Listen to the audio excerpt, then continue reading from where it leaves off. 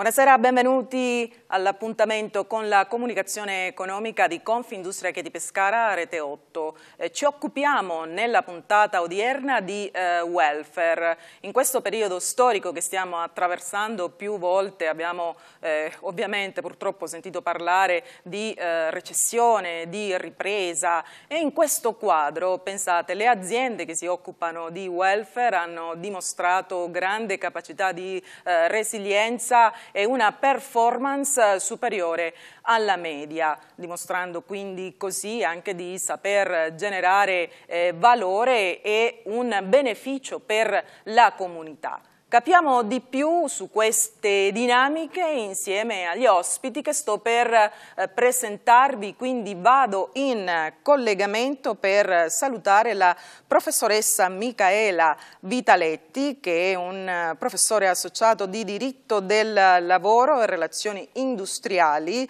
del Dipartimento di Giurisprudenza della Università di Teramo. Buonasera. Buonasera a tutti, grazie per l'invito. Grazie a lei. In studio eh, do il benvenuto all'avvocato Francesco Barattucci che è funzionario dell'area lavoro sindacale relazioni industriali di Confindustria che è di Pescara. Buonasera. Buonasera a tutti. E ancora diamo il benvenuto al dottor Carlo Zandel che è responsabile di eh, relazioni industriali e amministrative di uh, Fater SPA. Buonasera a tutti.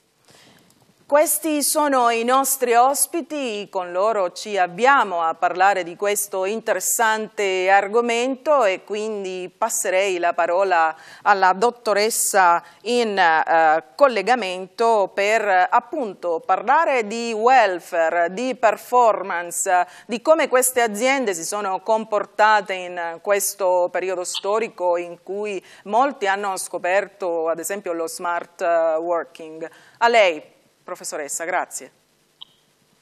Allora, grazie a voi. Che cos'è lo smart working per introdurre il tema e come si collega al, welfare aziendale? È una modalità eh, di lavoro da remoto per eh, i lavoratori dipendenti del settore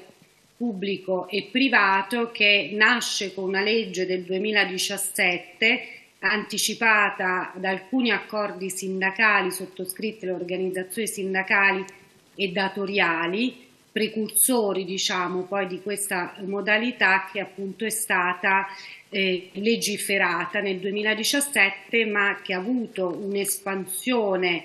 eh, notevole durante il Covid quando appunto per contenere eh, la diffusione del virus i lavoratori e le lavoratrici eh, hanno potuto continuare a lavorare pur confinati all'interno della dimensione domestica. Ovviamente eh, lo smart working è qualcosa di più e con la fine della eh, pandemia eh, si ritorna diciamo con alcune novità eh, importanti a dare questo strumento l'obiettivo, la razio per cui è nata, cioè conciliare tempi di vita di lavoro, aumentare la produttività e la competitività dell'impresa. Quindi è uno strumento utilissimo per ridefinire i modelli organizzativi all'interno delle realtà eh, aziendali al quale poi si sovrappone in qualche modo anche il welfare aziendale, perché il welfare aziendale è un altro strumento innovativo per percepire diciamo, la relazione tra i lavoratori e le lavoratrici e i datori di lavoro in maniera completamente nuova perché consente diciamo, di erogare eh, servizi a sostegno eh, della vita, diciamo, dello spazio di vita dei lavoratori e delle lavoratrici. Quindi si delinea un modello organizzativo completamente innovativo che consente anche di eh, reperire risorse che eh, altrimenti in qualche modo non potrebbero essere eh, impiegate. E questo ha una ricaduta molto importante anche sul, eh, sul territorio perché lo smart working consente anche di ricreare quelle economie di prossimità, di attirare eh, nuovi talenti, di portare anche eh, diciamo, un risparmio in termini di costi energetici, quindi anche considerato eh, uno strumento utile per la transizione ecologica ed è uno strumento anche considerato molto utile, tra l'altro è un obiettivo della legge, diciamo, per conciliare il lavoro soprattutto con la genitorialità e quindi consentire a chi ha famiglia di potersi organizzare alcuni giorni a settimana attraverso la sottoscrizione di accordi eh, individuali per poter gestire al meglio anche questi tempi di vita che sono percepiti all'interno dell'organizzazione aziendale come tempi anche di benessere che hanno effetti positivi sulla produttività dei lavoratori. Accanto alla genitorialità, lo smart working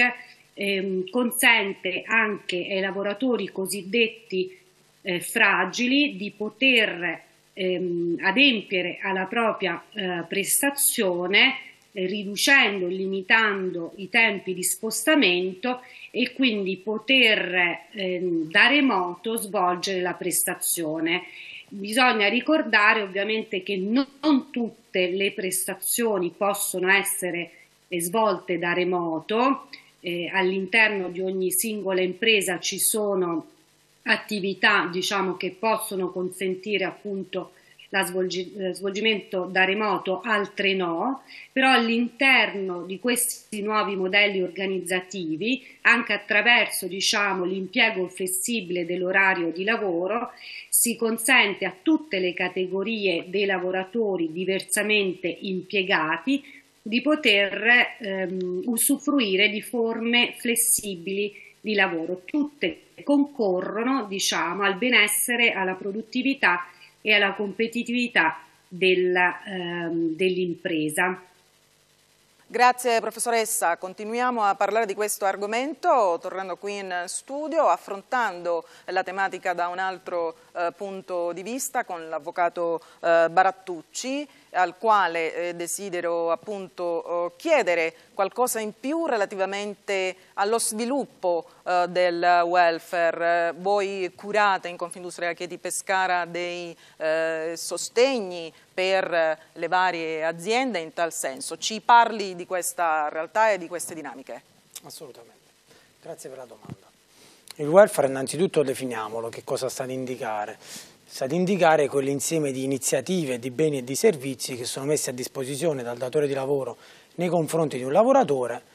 ad integrazione della retribuzione classicamente intesa, quindi quella in forma monetaria, proprio per accrescere il suo potere di acquisto e anche da un punto di vista del potere anche di sanitario e anche del benessere della famiglia, non solo del lavoratore stesso, ma è bene precisare anche del suo nucleo familiare.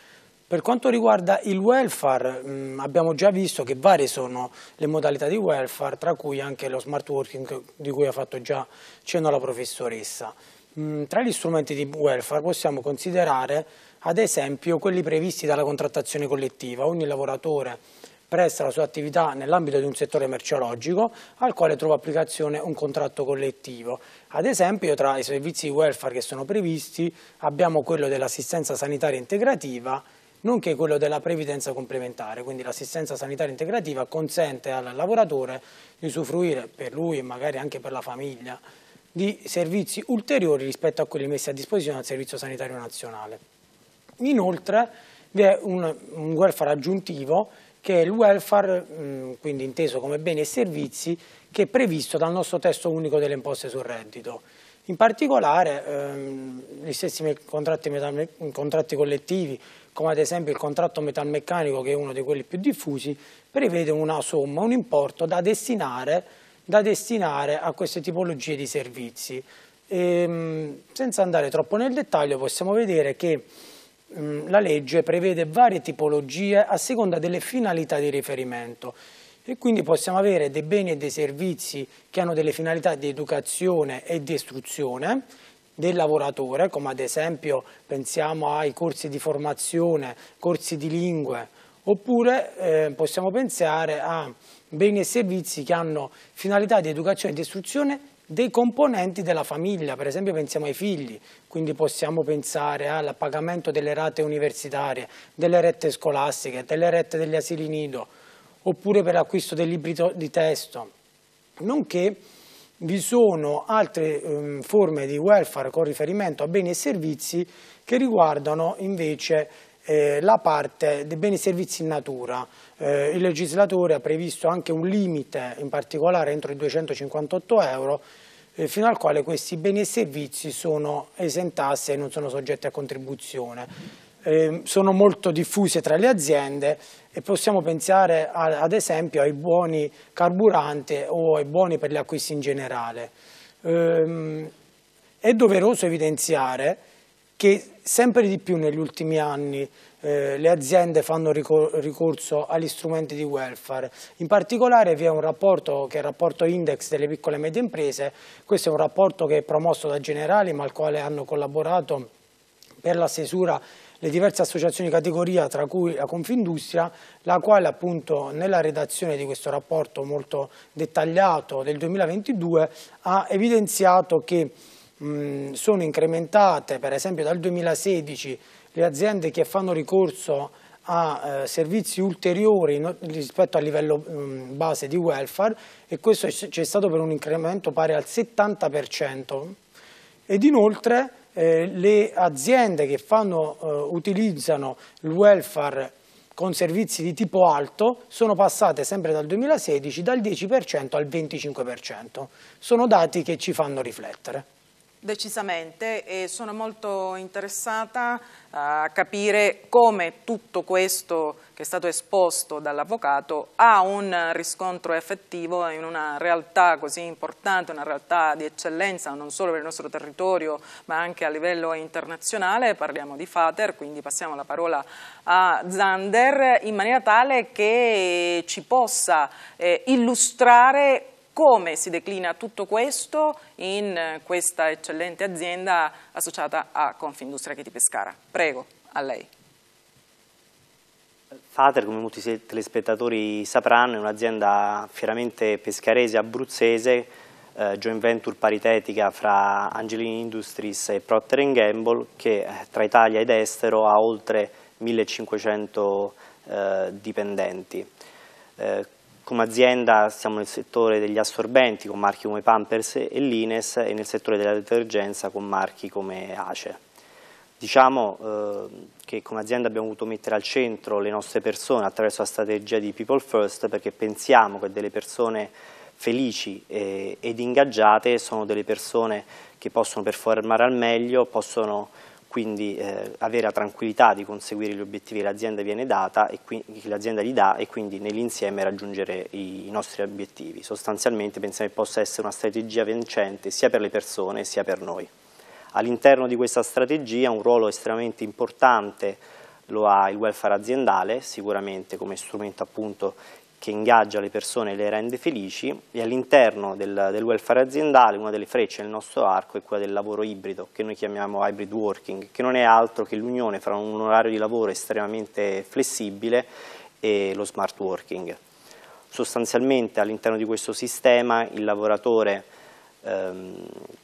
ha un orario giornaliero di 7 ore e 33 minuti ma d'accordo con il proprio responsabile può modulare in maniera differente eh, l'orario di lavoro e quindi ad esempio lavorare di più dal lunedì al giovedì e lavorare di meno il venerdì, magari d'estate in questo modo può andare al mare prima, oppure eh, pensiamo a, una, a,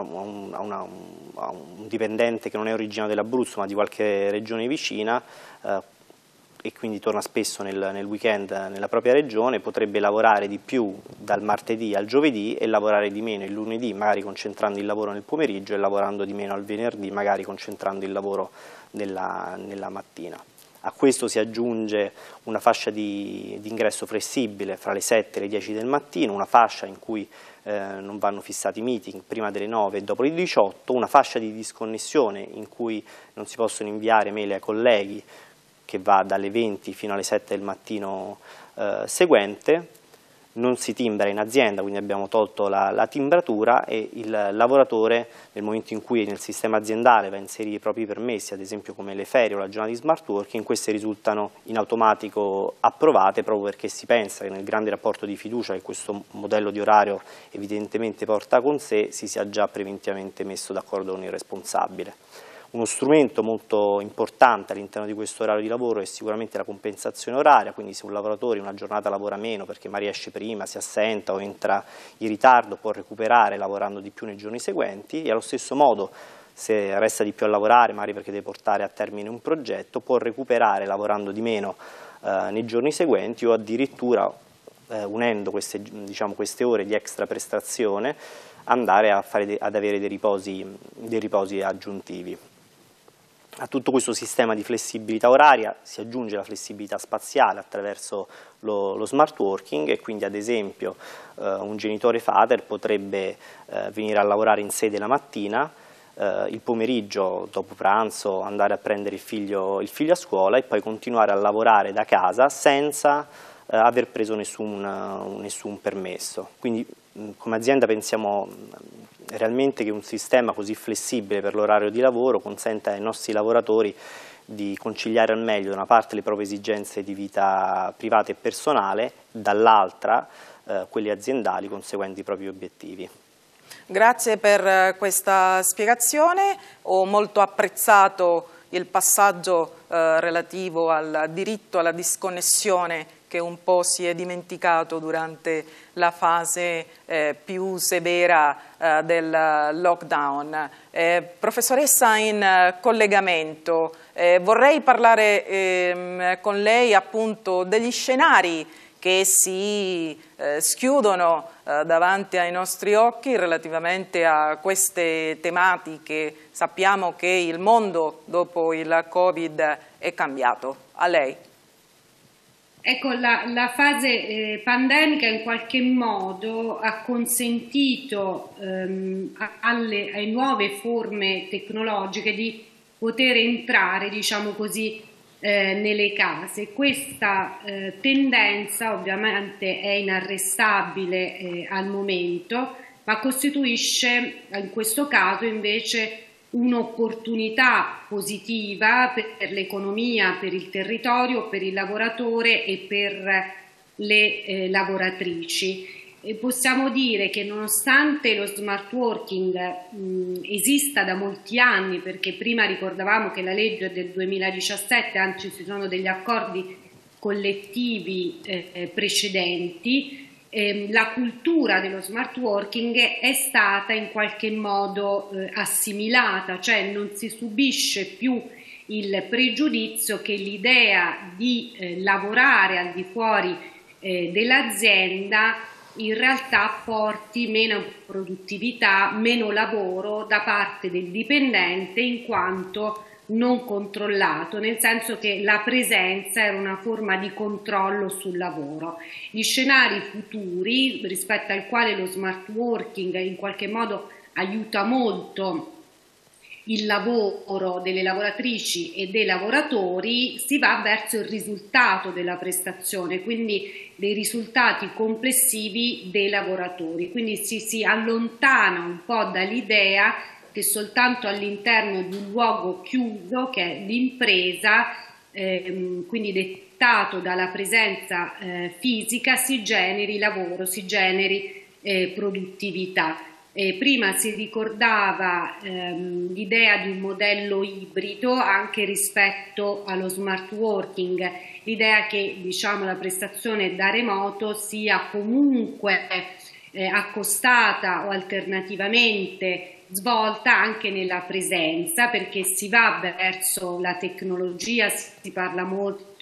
di intelligenza artificiale ovviamente il contatto diciamo formale, informale che può esserci dal vivo produce ancora competenze che probabilmente eh, da remoto eh, ancora non, eh, non possono eh, diciamo, eh, emergere. Quindi il luogo fisico resta alternato però appunto alla possibilità di utilizzare gli strumenti tecnologici in senso positivo. Poi lei prima ricordava il diritto alla disconnessione giustamente invece una sorta di pervasività durante la fase pandemica ehm, della tecnologia all'interno invece degli spazi eh, di vita. Anche in questo senso è intervenuto il legislatore, ma soprattutto gli accordi eh, sindacali venivano ricordate prima le fasce in cui i eh, lavoratori e le lavoratrici non devono essere contattate. Quindi questo segna una linea di confine con il tempo di lavoro in senso stretto per evitare che la tecnologia in qualche modo domini o governi l'esistenza eh, piena del,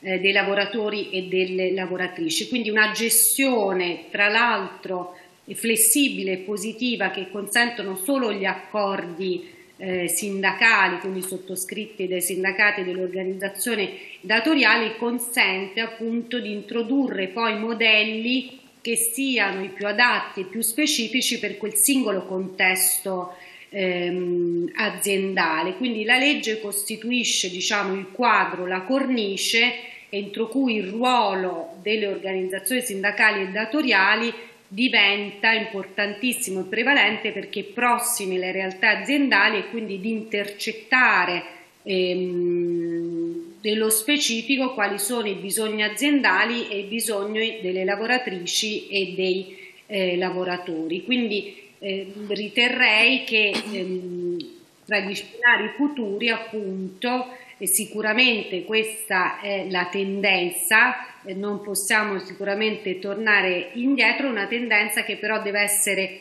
gestita appunto attraverso un bilanciamento positivo tra interessi tradizionalmente opposti che in questo caso invece convergono.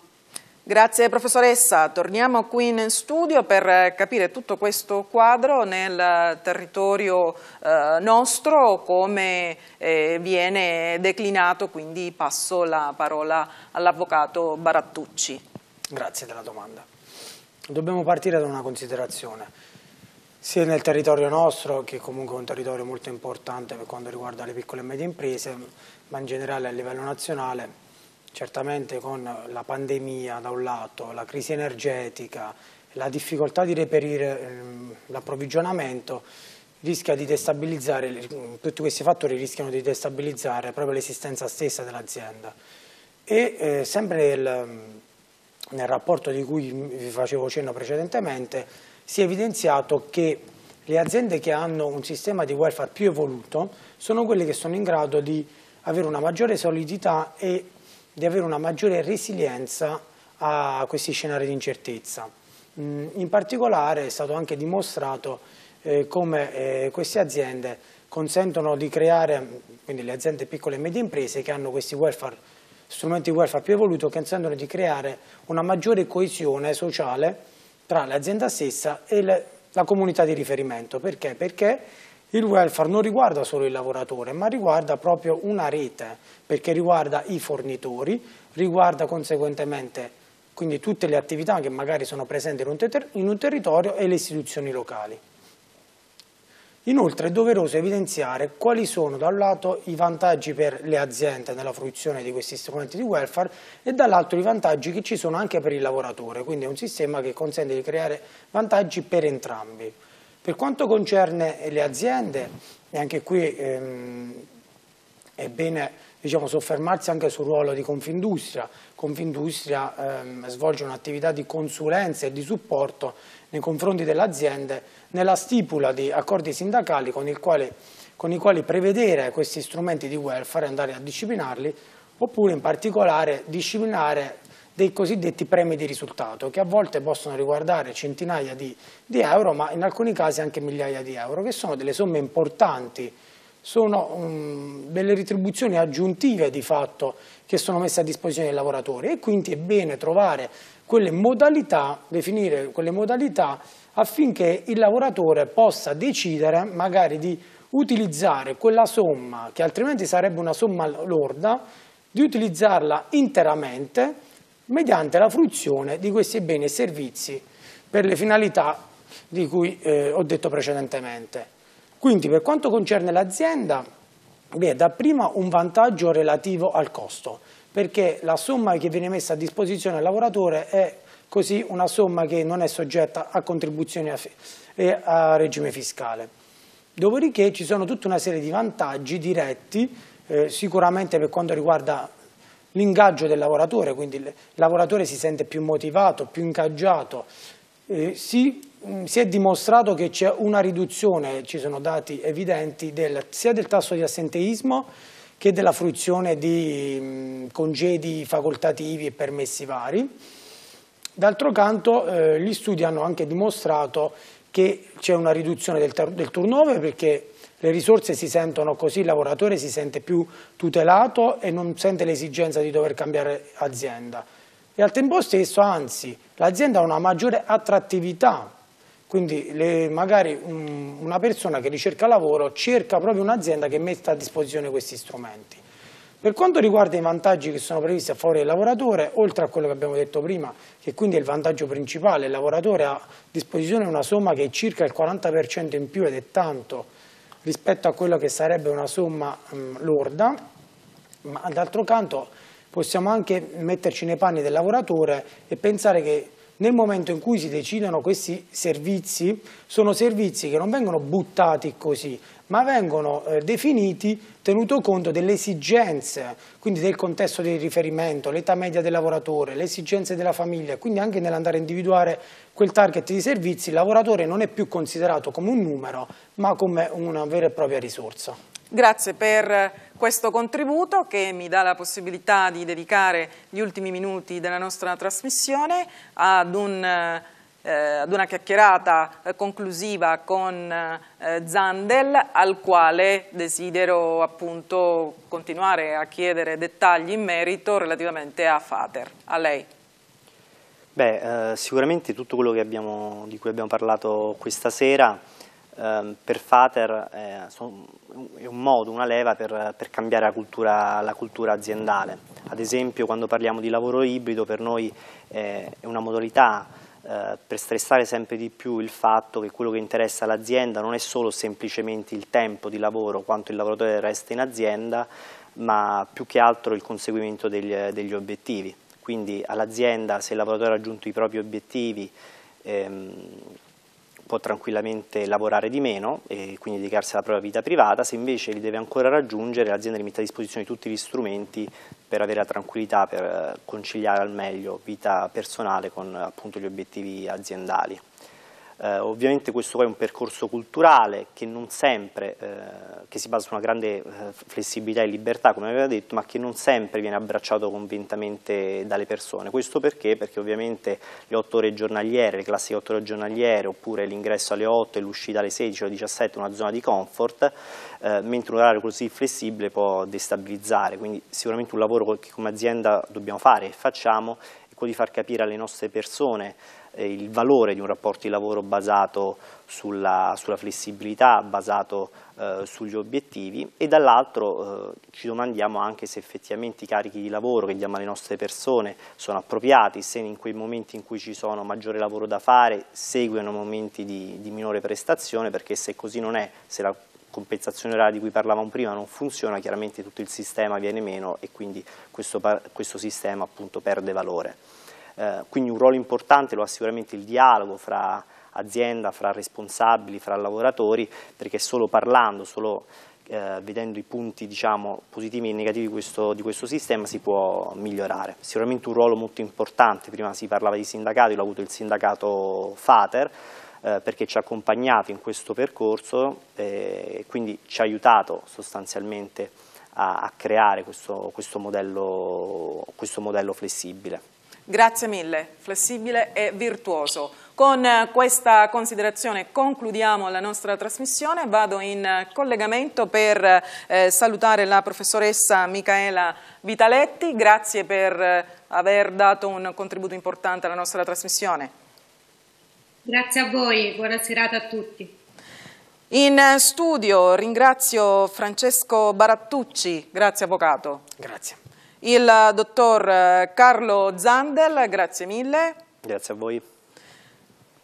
Per quanto concerne l'aspetto tecnico, ringrazio la regia e le riprese di eh, Danilo Cinquino e Alberto Capo rispettivamente. Ringrazio tutti voi telespettatori per averci seguito. Appuntamento alla prossima puntata.